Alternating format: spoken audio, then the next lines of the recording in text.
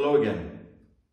Before I teach a beginner to intercept attacks, I teach them first to be unafraid of getting hit and to maintain their structure and their rooting even if they do get hit. So how do I teach that? Let's take a look.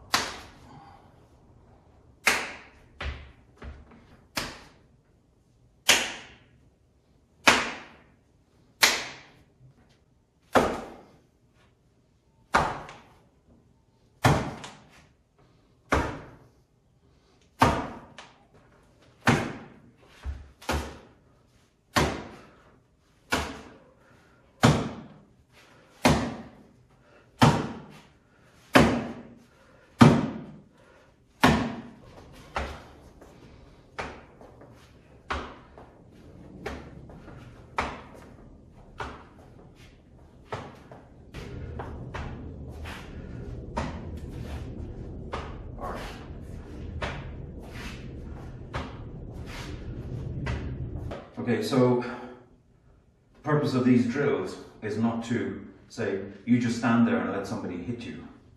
It's about training your mind not to fear being hit. So that if you move, you move tactically. You don't move because you're you're afraid. So if you give me a kick there, in reality, I'm not just going. If I know the kick is coming, I'm not just going to stand there and take it. I'm going to do something. Yeah. Yeah. Same here. If I know that, if I see that kick coming, I'm not just going to take it, right? I'm going to do something. Yeah. Same up here.